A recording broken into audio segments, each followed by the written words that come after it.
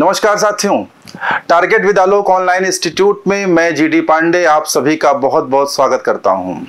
प्यारे साथियों, कहते हैं कि अगर अवसर आपके सामने हो अपॉर्चुनिटी आपके सामने हो तो उसको भुनाना आपकी ज़िम्मेदारी है। उसे कैश कराना आपकी ज़िम्मेदारी है।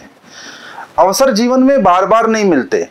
इसलिए अगर कभी भी अवसर हमें मिलते हैं अपॉर्चुनिटीज़ हमें मिलती हैं तो यह अति आवश्यक है कि उन अपॉर्चुनिटीज़ को हम तुरंत भुना सकें। ऐसे ही एक बड़ा अवसर, एक बड़ा ही प्रतिष्ठित संस्थान में नौकरी पाने का आपको मिल रहा है। जी हाँ भारत में जो लोग पैदा होते हैं, उसमें से वो लोग जो वैज्ञानिक बनने का सपना देखते हैं या विज्ञान से जुड़े कामों को करने वाले संस्थान में नौकरी पाने का सपना देखते हैं कुछ संस्थान भारत में ऐसे हैं जहाँ पे नौकरी करना ड्रीम होता है, सपना होता है, और उनमें से ही एक संस्थान है BARC, Bhabha atomic research centre. और बार्क ने 2023 में नौकरियों की भरमार, बम्पर वैकेंसी अनाउंस कर दी है। इतनी नौकरियाँ आईटीआई, बीटेक और डिप्लोमा कैटेगरी के लिए दिया है, जितनी नौकरियाँ प्रायः कम देखने को मिलती हैं इतने बड़े प्रतिष्ठित संस्थान में। चार हज़ार से अधिक वैकेंसी चार हज़ार तीन सौ चौहत्तर वैकेंसी चार हज़ार से अधिक वैकेंसी आपकी बार्क में अनाउंस हुई है।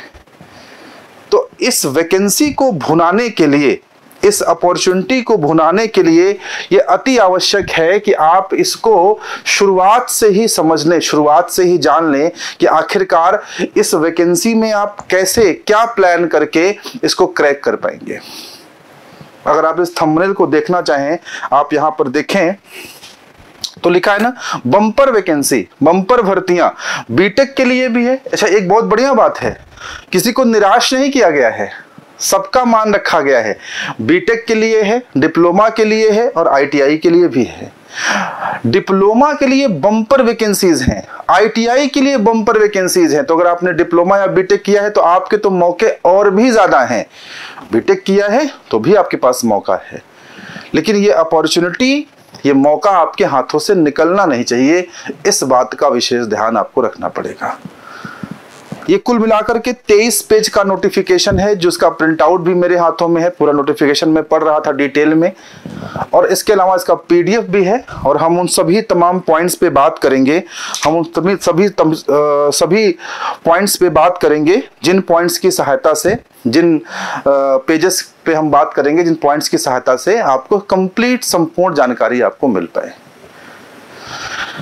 आइए हम बातचीत को प्रारंभ करते हैं।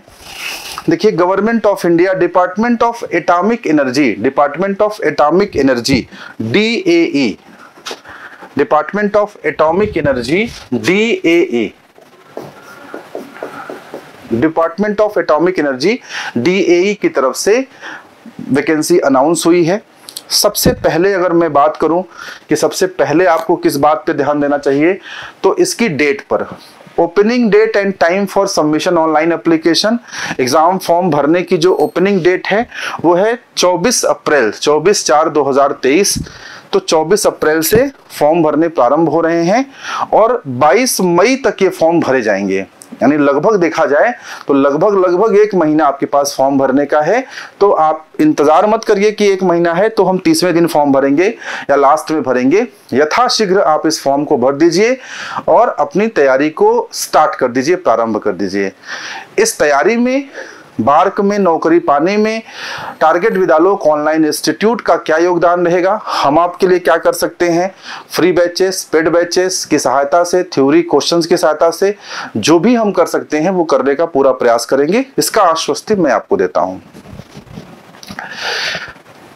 अब देखिए, अगर हम रिक्रूटमेंट की बात करें तो दो तरह का रिक्रूटमेंट है। पहला जो रिक्रूटमेंट है, वो डायरेक्ट रिक्रूटमेंट है और दूसरा है ट्रेनिंग स्कीम है। जिसमें स्टाइपेंड्री ट्रेनिंग स्टाइपेंड्री ट्रेनिंग का मतलब होता है जिन्हें ट्रेनिंग के दौरान भी पैसे मिलते हैं सैलरी मिलती रहती है। तो ये दो तरह के रिक्रूटमेंट हैं। पहले रिक्रूटमेंट में देखा जाए तो टेक्निकल ऑफिसर की एक सौ इक्यासी पोस्ट है ग्रुप ए का। साइंटिफिक असिस्टेंट बी की सात पोस्ट है और टेक्नीशियन बी की चौबीस पोस्ट है। ठीक है ना? और अगर हम ट्रेनिंग स्कीम या फिर ये स्टाइपेंडरी ट्रेनिंग की बात करें तो आप देखिए यहाँ का नंबर्स देख करके आप चौंक जाएँगे। बारह सौ छियानवे बारह सोलह वैकेंसी यहाँ पे है और उनतीस छियालीस वैकेंसी यहाँ पर है। कैटेगरी वन में बारह सोलह वैकेंसी है और कैटेगरी टू में उनतीस छियालीस वैकेंसी है। कैटेगरी वन डिप्लोमा स्टूडेंट्स के लिए है और कैटेगरी टू आपका आईटीआई स्टूडेंट्स के लिए है। वैकेंसीज का नंबर देखिए 1216 वैकेंसी आपकी शिकायत रहती है ना कि वैकेंसी कम आती है वैकेंसी प्रॉपर आती है, आपका फोकस कम रहता है, आपकी अवेयरनेस कम रहती है, आपकी तैयारी कम रहती है। दूसरों में दोष निकालने वाला व्यक्ति जीवन भर दोष, दोषों की लिस्ट बनाता रहता है और उसकी डायरी भर जाती है। लेकिन अपने पर काम करने वाला व्यक्ति हमेशा अपने कमियों को दूर करके वह सफल व्यक्ति बनता है जिसको बनने की वो इच्छा रखता है। तो वैकेंसीज बहुत हैं। 1216 वैकेंसी कम नहीं होती, उनतीस वैकेंसी कम नहीं होती। स्टाइपेंड आपको क्या मिलेगा? फ़र्स्ट ईयर में आपको कैटेगरी वन वालों को चौबीस हज़ार रुपए मिलेगा सेकेंड ईयर से छब्बीस हज़ार मिलेगा ट्रेनिंग के दौरान पे। और जो कैटेगरी टू वाले हैं, उनको फ़र्स्ट ईयर में बीस हज़ार मिलेगा, दूसरे साल उनको बाईस हज़ार रुपए मिलेंगे। तो ये देखिए इसका डिटेल है। इसके बाद अगर हम डिटेल की बात करें डायरेक्ट रिक्रूटमेंट की बात करें डिटेल की बात करें तो यहाँ पर सारे पेजेस हमारे काम के नहीं है। जहाँ से काम के हैं, मैं वहाँ से बातचीत करना शुरू कर रहा हूँ। देखिए इलेक्ट्रिकल से हमारे काम का है, अगर देखें हम। तो इलेक्ट्रिकल देखिए इलेक्ट्रिकल में टोटल वैकेंसी पंद्रह है। और इंस्ट्रूमेंटेशन में आठ है मैकेनिकल में चौवालीस है मेटलर्जी में तीन है। ये सारे डिसिप्लिन बहुत कॉमन नहीं है, लेकिन इलेक्ट्रिकल मैकेनिकल देखें हम लोग तो ये वैकेंसीज आपकी हैं। यहाँ से आप देख सकते हैं। सिविल में भी आपकी 20 वैकेंसी है, केमिकल में 20 वैकेंसी है तो सिविल से आपने डिप्लोमा किया है तो 20 वैकेंसी आपके लिए है। अगर आपने इलेक्ट्रिकल से किया है तो आपके लिए टोटल 23 वैकेंसी है। अगर आपने मैकेनिकल से किया है तो आपके पास चौवालीस वैकेंसी है। ठीक है ना? ये है।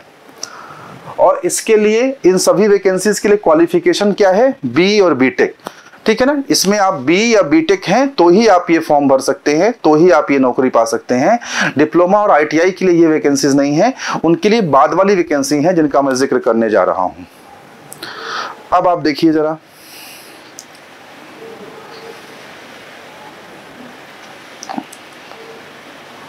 stipend training category one category one वाला अगर हम बात करें तो देखिए इसमें आपकी जो ब्रांचेस शुरू हो रही हैं, वो केमिकल से शुरू हो रही है। अगर इलेक्ट्रिकल से आप देखें, अब देखिए आप, यहाँ पे देखिए वैकेंसीज की भरमार है।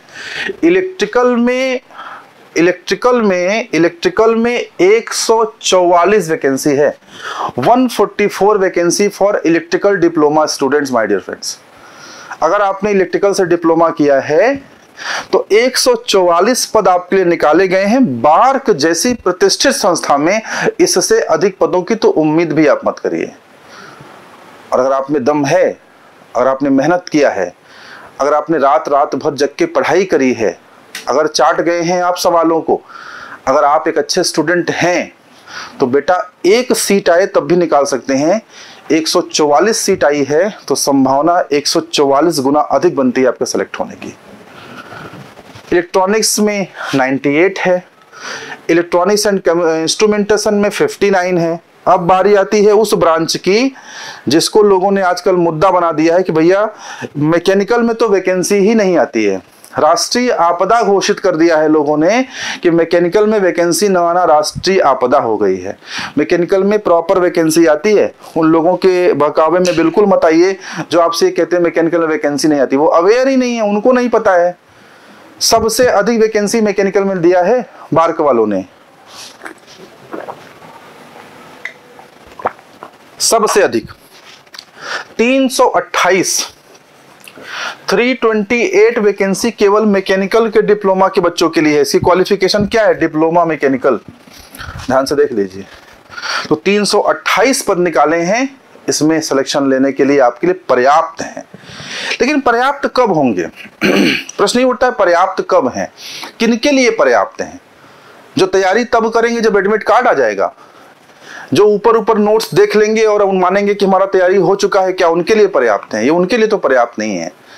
हाँ ये उनके लिए पर्याप्त हैं जो अपनी प्रिपरेशन को करके बैठे हैं, केवल वैकेंसी आने का इंतज़ार कर रहे हैं। या फिर अब वैकेंसी आ ही गई है तो अब एडमिट कार्ड का इंतज़ार नहीं करेंगे, तुरंत अपनी प्रिपरेशन को शुरू कर देंगे। ये उनके लिए आसान है।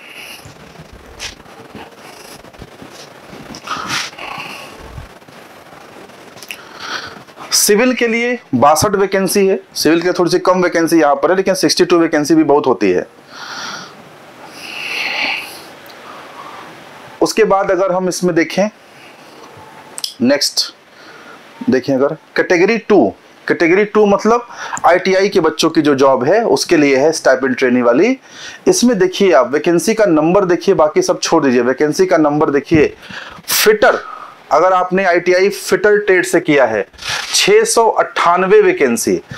टर्नर या मशीनिस्ट से किया है 213 वैकेंसी। वेल्डर से किया है तो निन्यानवे vacancy. Mechanic mechanic machine tool maintenance से किया है 18 वैकेंसी। अगर आप इलेक्ट्रीशियन से आपने किया है तो दो, तीन सौ निन्यानवे वैकेंसी। इलेक्ट्रॉनिक्स एंड मशीन से किया है तो 226 वैकेंसी। बम्पर वैकेंसी है, बौछार है वैकेंसी इसकी बौछार है वैकेंसीज की। सिलेक्शन ले लीजिए। बार बार ऐसे मौके नहीं आते। अपॉर्चुनिटी आपके दरवाजे पे खड़ी हुई है। उसको भुनाना, उसको कैश कराना आपकी ज़िम्मेदारी है। आप नहीं करा पाएँगे तो आप फिर पछताते रह जाएँगे। ये बात आप मेरी मान लीजिए। आपके दरवाजे पर है। और मैं आपको बताऊँ कि टारगेट विद्यालोक ऑनलाइन इंस्टीट्यूट में सभी प्रकार के पेड बैचेस भी आपको मिलेंगे, चाहे वो डिप्लोमा के लिए हो बीटेक के लिए हो आईटीआई के लिए हो, और सभी प्रकार के फ्री क्लासेस भी हम आपको देंगे इस बार। बार्क को टारगेट करके हम लोग बहुत सारी चीज़ें आपको देंगे। तो बार्क में आप सिलेक्शन ले पाए। इसमें पूरा कोशिश हमारा भी रहेगा, पूरा योगदान हमारा भी रहेगा। बाकी अन्य चीज़ें एज लिमिट वगैरह है इस नोटिफिकेशन को आप डाउनलोड करके पूरा पढ़िएगा। देखिए अन्य जो ब्रांचेस होते हैं स्ट्रीम्स होती हैं इंस्ट्रूमेंट मशीन है आर में है ड्राफ्ट ड्राफ्ट मैन में है। आ, तो ये सारे वैकेंसी देखिए 95 वैकेंसी है 52 है 15 है कुल मिला टोटल करेंगे तो वही बारह 1216 वैकेंसी यहाँ पर आ रही है। तो ये सारी वैकेंसीज आई के बच्चों के लिए हैं। तो आईटीआई वालों बहुत बढ़िया मौका है भारत के उस संस्थान में नौकरी करने का, भारत के उस संस्थान में नौकरी करने का मौका है बच्चों, जिसमें नौकरी करने का सपना देखते हैं लोग। तो मौके को भुनाइए। बाकी देखिए, एज लिमिट वगैरह देखिए। कैटेगरी वन की जो स्टेप एंड ट्रेनिंग वाली जो पोस्ट आई है, उसकी एज लिमिट मैक्सिमम 24 है। कैटेगरी टू वाली की 22 है। ठीक है ना? एज लिमिट का एक्सटेंशन क्या है? ये तमाम सारी चीज़ें आप इस पूरे नोटिफिकेशन को बहुत ध्यान से पढ़ेंगे तो आपको मिल जाएगा। इसमें ऐसी कोई बहुत बड़ी बात नहीं है। बाकी एग्ज़ाम का पैटर्न वगैरह भी बाहर आगे दिया हुआ है कि एग्ज़ाम में किस प्रकार के क्वेश्चन आएँगे। एग्ज़ाम में कोई अलग क्वेश्चन नहीं आएगा।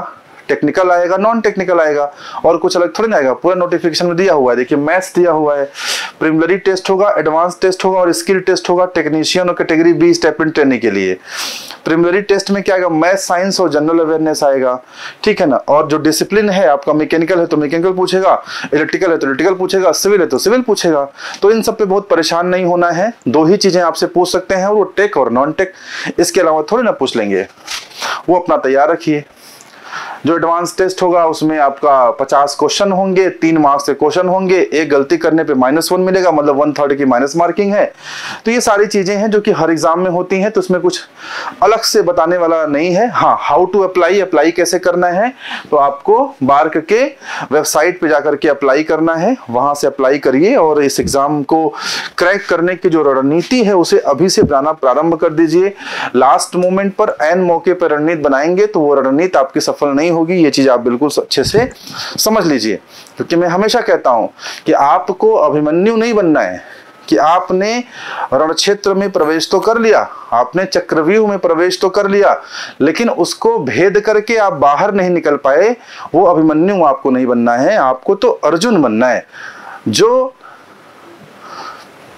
जो रण क्षेत्र में, युद्ध में चक्रव्यूह में अंदर घुसना भी जानता है और उसे भेद करके बाहर निकलना भी जानता है।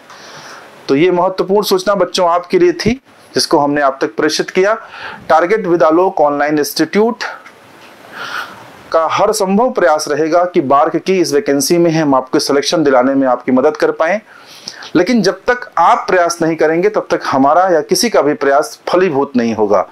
तो आज ही प्रयास कैसे करना है, उसकी रणनीति बनाइए। बार्क की वैकेंसी को लेकर के और बहुत सारे अपडेट मैं आपके बीच आता रहूँगा। क्लासेस भी लेके आता रहूँगा। क्या है प्लानिंग फ्री क्लासेस देने का। क्या इसके पेड बैचेस लॉन्च करना है? एक इंपॉर्टेंट बात और मैं आपको बता दूँ कि इस बार की वैकेंसी में इंटरव्यू भी है। तो इंटरव्यू का भी एक बड़ा महत्वपूर्ण योगदान है। इंटरव्यू के लिए कैसे प्रिपेयर होना है, उस पर भी मैं डिटेल चर्चा करूँगा। फ़िलहाल आज के लिए इतना ही। सबसे पहला काम करिए जा करके जब भी मेरा वीडियो देख रहे हैं नेक्स्ट डे जा करके या उसी दिन जाकर के आप फॉर्म भरिए। फॉर्म भरिए, फॉर्म कंप्लीट करिए, उसके बाद रणनीति पर और अन्य तमाम सारी बातों पे चर्चा करने के लिए मैं आपके बीच हमेशा उपलब्ध हूँ। Thank you so much bye take care